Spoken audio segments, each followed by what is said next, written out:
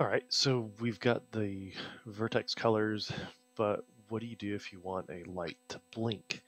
Um, so what we're going to do is I want the outer glass section to be a turn signal, right? So what I'm going to do is go up to UV editing, zoom in here again. And so I go to edit, make sure all the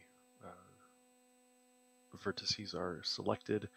Now you can see I can come in here into the UV editor window and I've got a special little tool so I'm going to move UDIMs relatively.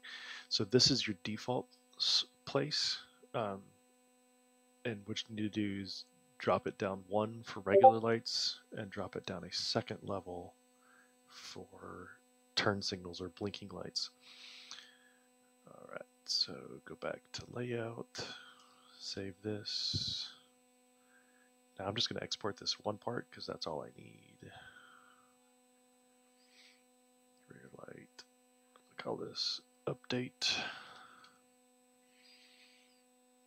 Export. Save. I can close that out now. So I'm going to edit this again.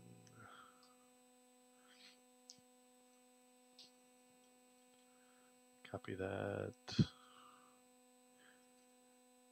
Go into the update, edit the update, add that file. And so here I just need the clear plastic color. Change that back down to one. Open this up, and now it should blink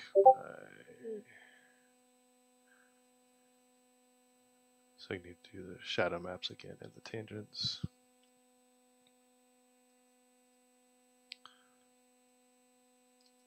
Okay, so here we go. Now when I turn on the light control,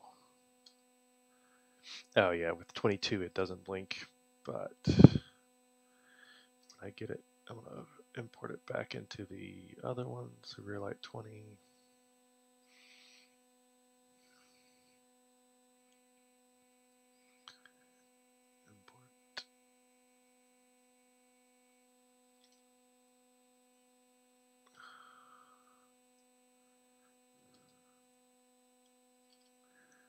What I'm doing is I'm just getting it in the same order that it was before.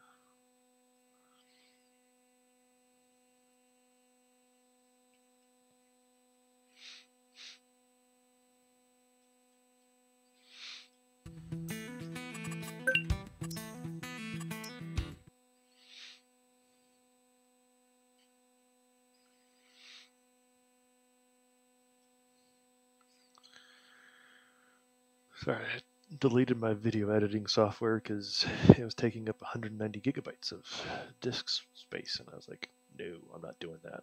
So you guys get to deal with unedited videos for now until I figure out a better solution or get a uh, another drive for storage space.